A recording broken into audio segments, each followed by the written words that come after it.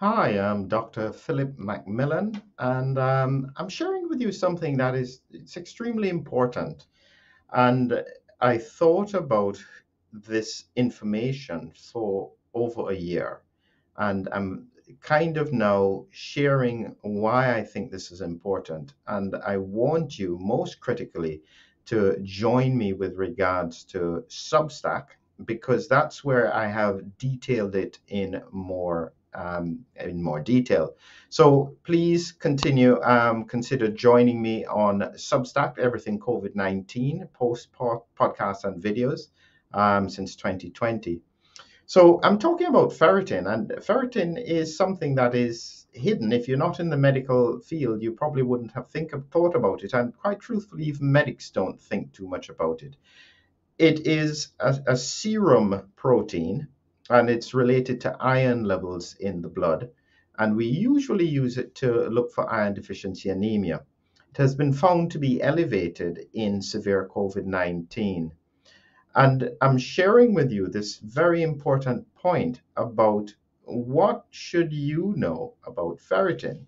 And critically, what should you do about this information? And so this is information personal to you, but if there are any clinicians who are watching this, I would encourage them to start looking for this marker for macrophage activation. So I'm sharing about this because I'm calling it the silent inflammatory killer. It's kind of like hypertension, I think, is that hypertension is the silent killer because you get no symptoms until you get a heart attack or a stroke. In the same way, I think that ferritin is a marker for another inflammatory process that puts your body at risk long term. And it's important to know that this is not a risk for every person, but in certain cohorts, I think this is very, very relevant. And my own personal journey with monitoring ferritin and observing it in patients has been over 16 months.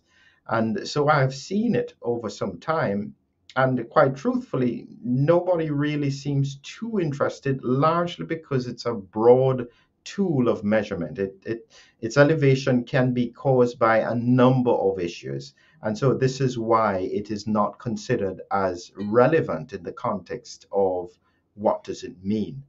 But I'm highlighting this to you today because I don't want anybody to say they never heard about this. So when my Substack post, and this is where I'd want you to go because some of the things I say in there I can't quite say here, to quite to be quite frank.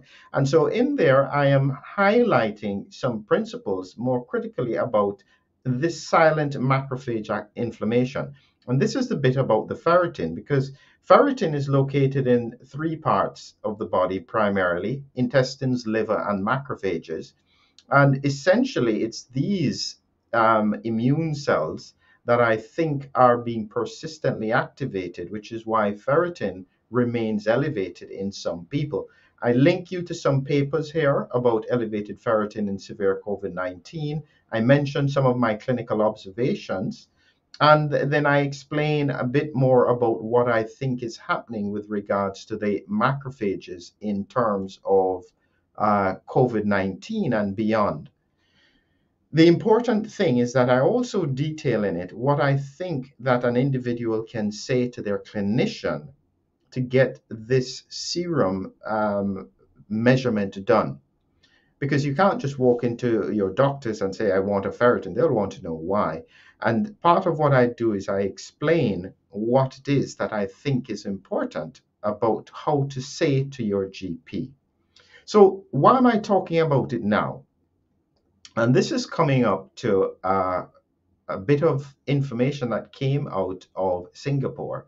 This is a report on excess mortality during the COVID 19 pandemic up to June 2022. Uh, this is from the Ministry of Health Singapore. It was published in 2022.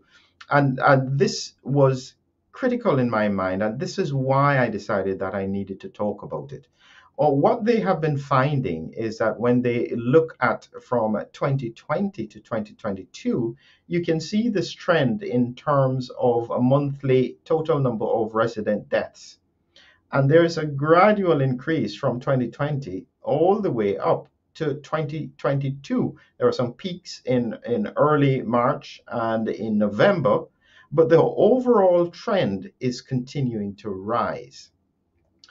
Now, when I saw that, I thought that was important. And I thought that this could be an indicator of the point that I'm mentioning about macrophage activation and ferritin. And this is what I de- detail some more. It's the ferritin, uh, because it's concentrated in macrophages, if there's no associated inflammation, what can then happen is that it suggests that these little blue dots I've put as ferritin are being released from all these macrophages, and these macrophages are in an active state, an inflamed state, and they can cause damage to the rest of the body.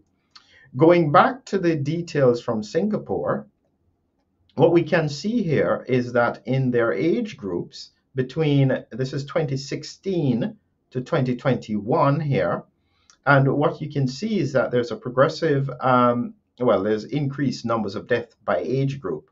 But if you look at the 80 plus here, in 2021, it was much higher even than 2020 and in 2019. So even though we have implemented mitigation strategies, our excess deaths or deaths still seems to be quite high.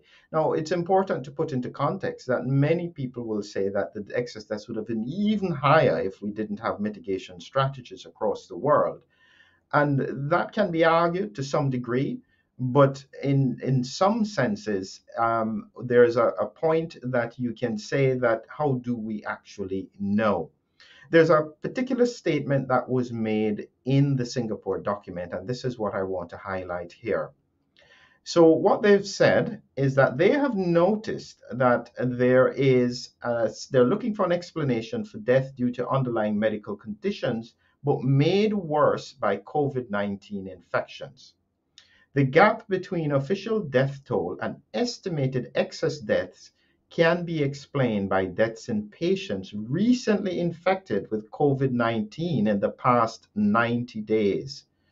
When they looked at persons without recent infect- infection, no additional excess death was found. So this is why I thought that I need to come and say something here because this fits right in to the autoimmune processes that I have been looking at for some time. Ferritin being elevated, I have observed, seems to be associated with higher risk of poor outcomes in patients. But that's just anecdotal. It needs to be researched. But there doesn't seem to be enough of an appetite for ferritin research because it's so broad and many things can affect the levels. However, my point is, is that if it is elevated without any other inflammatory process going on, I think that that is a red flag. And we need to understand why it is occurring. And so, this is the primary reason why I think that the data coming out of Singapore was so valuable you can look at causes of death, and I'll show you this here again, um, between 2021 and 2022. In 2020, a primary cause of death here were cancers. It was the same in 2022. Heart disease remained about the same, pneumonia remained about the same, and strokes remained about the same between the periods of time. What seems to have changed in position is the hypertensive disease and hypertensive heart disease. And you can see that that's going up in from uh, seventh place to sixth place. And the reason for this rise is not quite clear.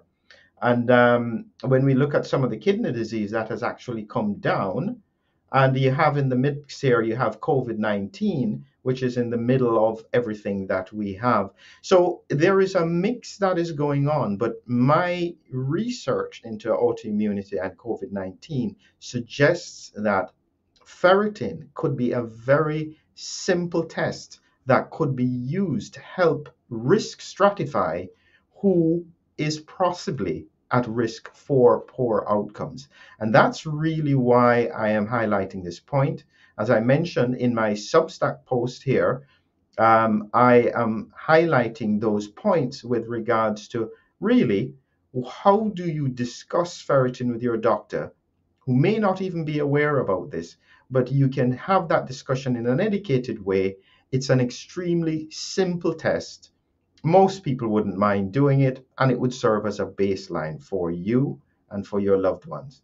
So please, if you want to learn more, click on the description below, and I'll be happy to share more thoughts with you and over the next period of time. So I hope this has been valuable and I look forward to sharing more information with you in the near future.